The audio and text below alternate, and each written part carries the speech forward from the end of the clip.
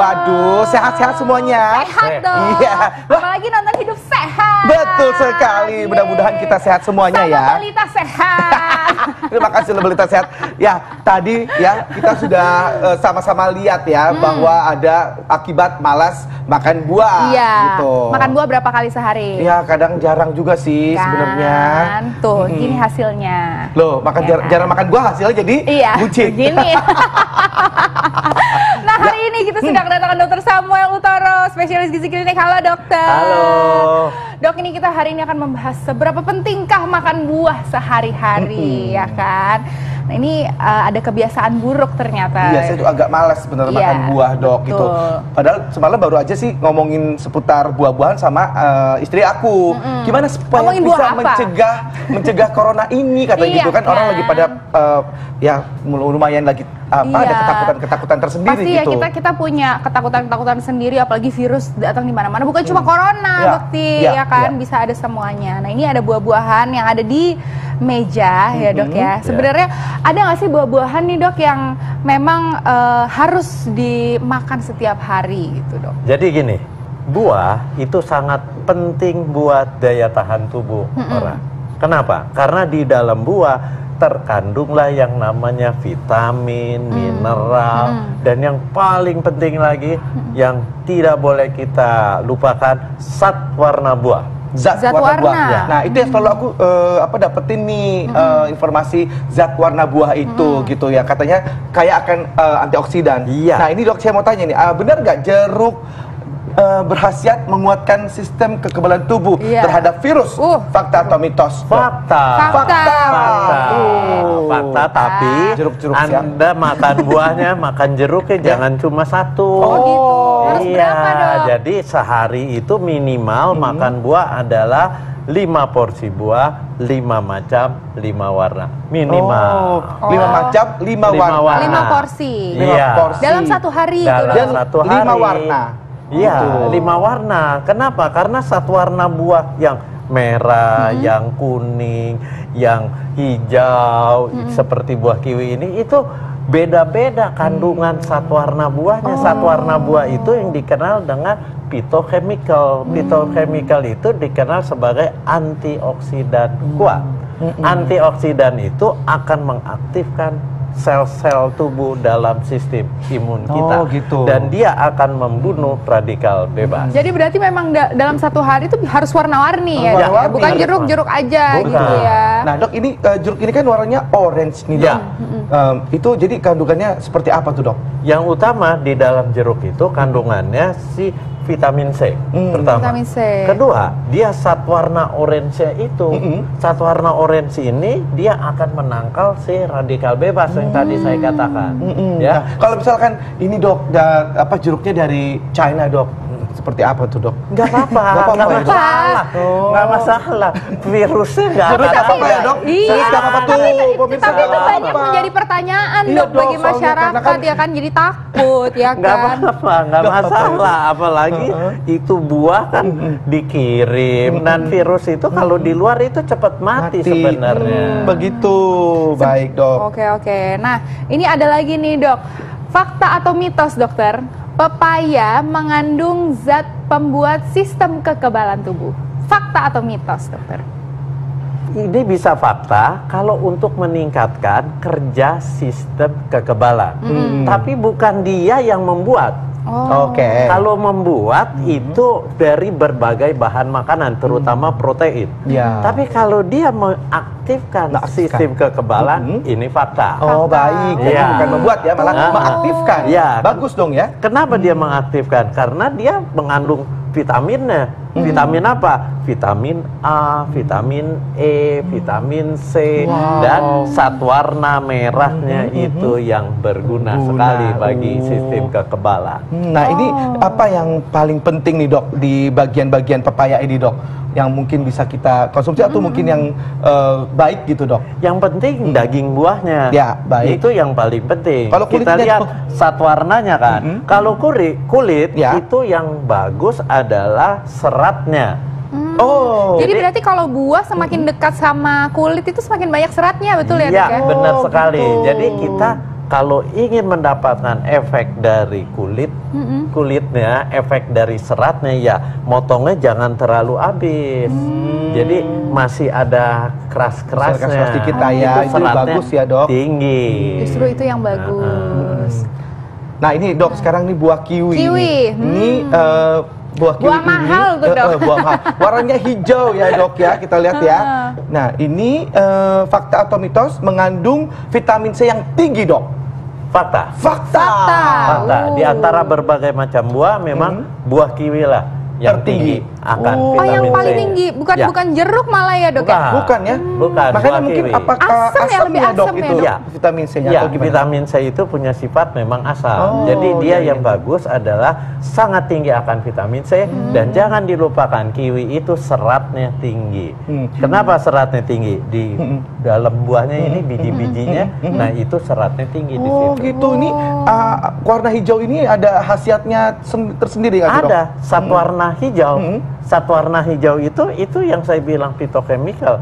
Dia punya efek sebagai antioksidan. Hmm. Nah, dia akan menangkal radikal bebas, Oh. dia akan berefek antioksidan, dia akan meningkatkan sistem imun Anda. Baik, Ditambah vitamin C-nya yang tinggi. Makan aja ya dok ya. Ya. Benar baik. Enak. Enak loh. Enak Nggak kali asem. ya.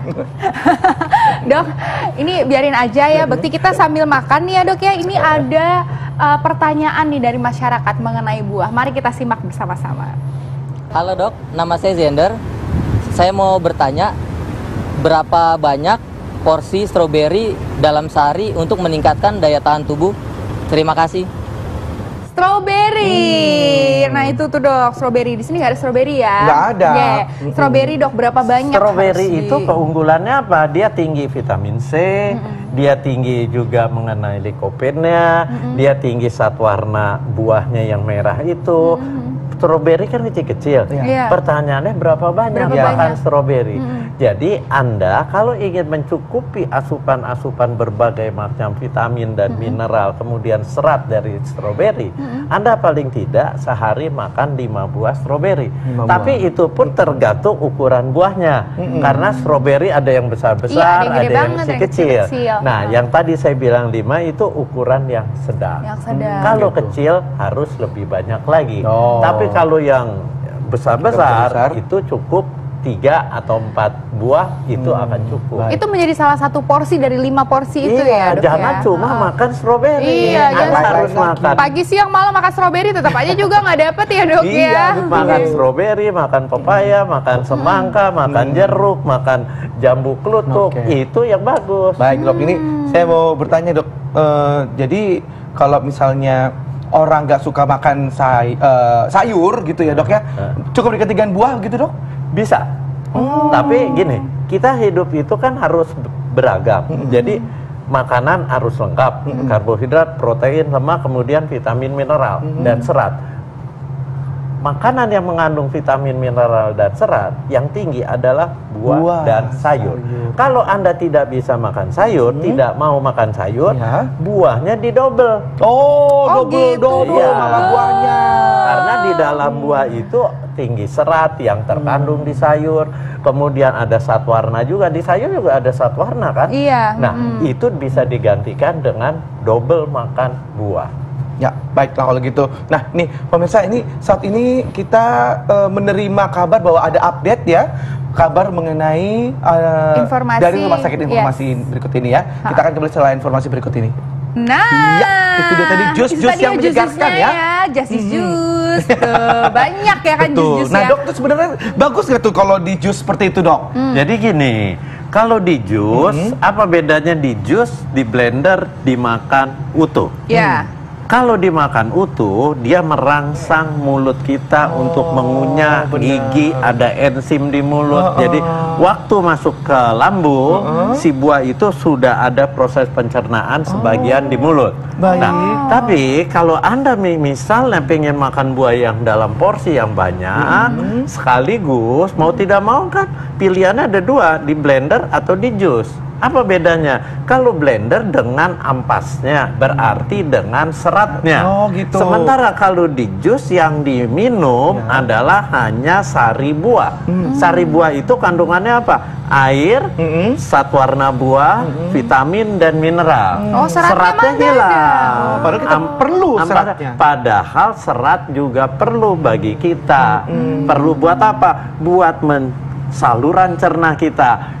Dia akan menghambat penyerapan gula, penyerapan lemak-lemak yang jahat. Oh, begitu, Oh, Bu. begitu. Jadi jangan mentang-mentang ada juicer yang canggih bisa memisahkan antara ampas sama air. Eh, iya, iya benar-benar benar-benar ya. Malah berarti itu malah memisahkan si serat-seratnya itu ya, Dok ya. Iya, bisa. Seratnya nggak kemakan. Itu dia, Yang dimakan penting. cuma apa? Yang tadi saya bilang cairan yang ada di buah, vitamin, mineral, kemudian zat warna buah. Baik, Dok. Oke, Nah, ini nah. ada lagi yang mau bertanya, Dok, dari eh, Masyarakat. masyarakat. Ini dia. Halo dok, nama saya Firman. Saya ingin bertanya tentang buah semangka. Bener nggak sih buah semangka itu bisa menghilangkan rasa haus atau dahaga dan bisa meningkatkan imunitas tubuh? Oke, terima kasih. Buah Iya, Dok. semangka. Buah semangka ini sudah ada di depan mata juga. Hmm. Ya kan? Buah semangka bisa menghilangkan dahaga dan juga meningkatkan sistem Imunitas. imunitas, tubuh. Itu mitos atau fakta, dokter? Fakta. Fakta. Karena buah Mari mari mari semangka mari mari adalah mari mari salah- mari Yuk, yuk. mari mari mari mari Eh, mari mari dengerin dulu mari. jawabannya dokter Sam. Main makan aja. Oh iya, oke. Silakan, Buah, Dok. buah semangka itu salah satu buah yang hampir sebagian besar kandungannya air. 60% itu air. Jadi memang benar sekali dia akan mengatasi dahaga seseorang. Jadi kalau Anda dalam kondisi haus, nggak perlu minum makan buah semangka itu sudah baik sekali. Oh, gitu.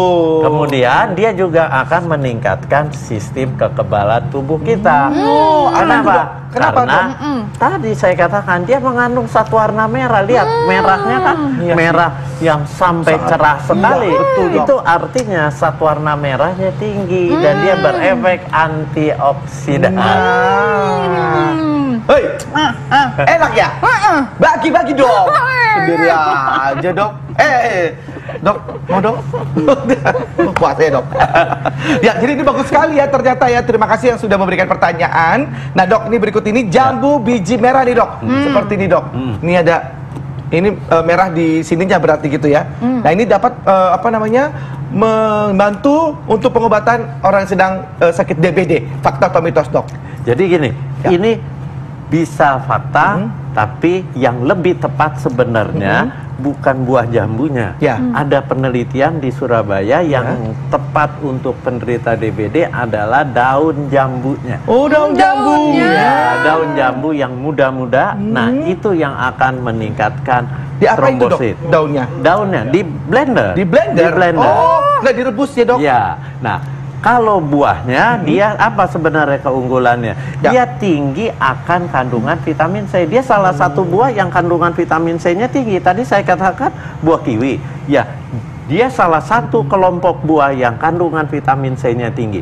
Penderita demam berdarah itu penting makan vitamin C. Oh. Kenapa? Karena vitamin C akan menguatkan dinding pembuluh darah. Hmm. Jadi tidak mudah terjadi perdarahan. Oh Hmm, gitu. gitu. Jangan salah berarti kebanyakan kalau misalnya orang DBD dibau ini jambunya Iya, gitu ya dok malah ya. jambu. Jadi malah jambunya, jambunya nih oh, minum gitu, jambunya kan? udah di jus gitu Hmm, ya. gitu. Ternyata bukan. Baik ya dok, kan? ini kita eh, beralih ke buah mangga. Buah Dok. mangga. Nah ini, nah ini buahnya Ya kalau boleh kan? kan buahnya musiman ya. Iya musiman dok, terus udah gitu banyak banget jenis-jenisnya ya kan. Mm-mm. Biasanya kalau orang kalau uh, makan mangga sampai uh, kulitnya tuh sampai bersih gitu ya. Mm-mm. Di ininya padahal katanya sebenarnya seratnya ada di situ tuh dok. Iya, Iya. jangan makan buah mangga, ngupas buahnya jangan sampai bersih, jangan terlalu dalam. Iya.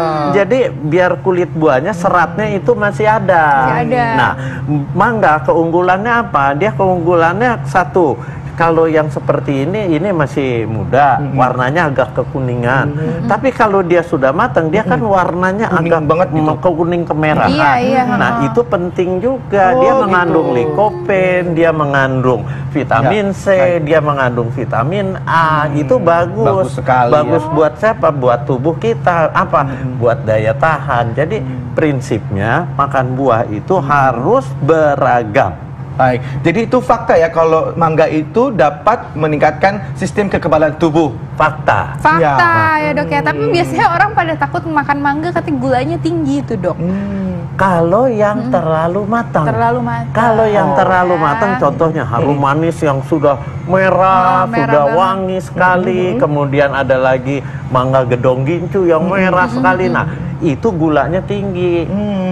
Tapi itu yang bikin enak sebenarnya. Ya. Cuma Iya. Tapi tidak baik hati-hati, untuk yang diabetes, nggak bagus Hati-hati. buat yang diabetes, buat yang kegemukan. Hmm. Anda harus mulai membatasi. Baik dok. Oke. Terima kasih banyak dok. eh, Sebentar, ada satu. lagi. Oh ada satu dari lagi saya. nih Oke, dokter. silakan dok. Ah bukti gimana sih? Coba dok. Silakan, dok. Makan tips buah tips, itu. Iya. tidak boleh hanya satu macam. Ya. Anda makan buah harus beragam. Iya. Kemudian makan buah itu jangan sekali-sekali. Itu harus dilakukan setiap hari baru akan punya efek yang untuk meningkatkan sistem kekebalan. Kalau Anda makan cu hari ini makan besok enggak, besoknya makan enggak, itu percuma. Enggak akan. Kenapa? Karena ini bahan makanan, bukan suplemen Ya. atau bukan obat. Jadi, ini bahan makanan bahan yang harus makanan memang disertakan setiap iya, makan kita. dikonsumsi setiap hari. Berarti Baik, sama dok. tadi ya dok ya, 5 porsi dalam sehari, Iya, 5 lima macam, dan lima warna. 5 Lima warna. warna. Oke Iya, deh, baik. tipsnya terima kasih Terima banyak, kasih banyak dokter dok. Sep. Ya, pemirsa jadi jangan lupa makan buah ya. Yes. Gitu. Oke, kita akan kembali lagi hari. Nah, setiap kita hari. sesaat lagi nih kita akan membahas mengenai yang penting-penting juga terutama untuk menangkal virus. Gimana nih caranya ya? Sesaat lagi kita akan bahas tetap di Hidup, Hidup Sehat. Sehat.